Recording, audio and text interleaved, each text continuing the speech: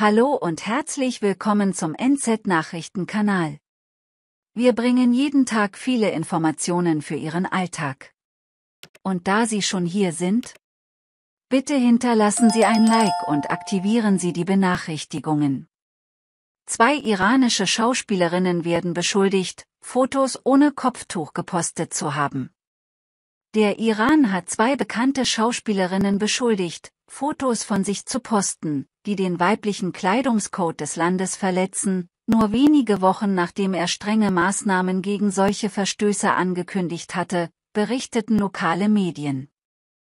Die Polizei von Teheran hat den Fall von Katayun Riahi und Panthea Baam an den iranischen Justizapparat überwiesen und sie des Verbrechens des öffentlichen Entfernens des Hijabs und des Postens von Fotos im Internet angeklagt, sagte die Nachrichtenagentur Tasnim am Montag.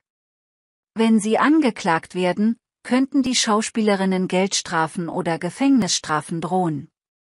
Anfang des Monats kündigte die Polizei an, dass sie in öffentlichen Orten intelligente Technologie einsetzen werde, um Frauen zu unterdrücken, die den obligatorischen Kleidungscode des Iran herausfordern. Letzte Woche wurden Fotos von Baam, 53, viral, nachdem sie ohne Kopftuch bei der Vorführung eines Films posierte, während Riahi, 61, mehrere Fotos von sich an öffentlichen Orten in Teheran postete, auf denen sie kein Kopftuch trug. Die Anforderung, dass Frauen in der Öffentlichkeit ein Kopftuch tragen müssen, wurde unmittelbar nach der Islamischen Revolution von 1979 eingeführt.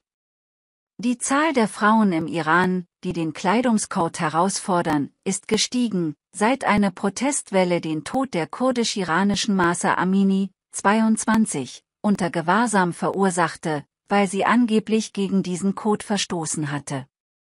Am 16. April gaben die Behörden bekannt, dass sie 150 Geschäfte geschlossen haben, deren Mitarbeiter den Kleidungscode nicht einhielten. Baam und Riahi haben mehrere Auszeichnungen beim Far International Film Festival, der wichtigsten Filmveranstaltung des Iran, gewonnen.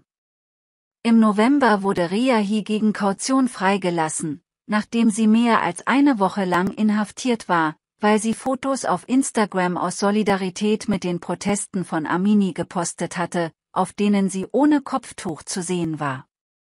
Riahi war die erste iranische Schauspielerin, die solche Bilder in den sozialen Medien im Rahmen der Protestbewegung gepostet hatte. Helfen Sie uns, indem Sie unsere Inhalte teilen. Video jede Woche so auf dem Kanal Danke und bis zum nächsten Video.